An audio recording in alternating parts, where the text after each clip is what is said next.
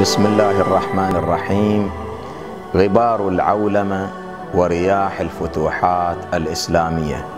نتحدث تحت هذا العنوان عن علاقة العولمة بالفتوحات الإسلامية والخلافات التي أثيرت حول الفتوحات الإسلامية وكيف واجه الإسلام العولمة بعالمية الإسلام.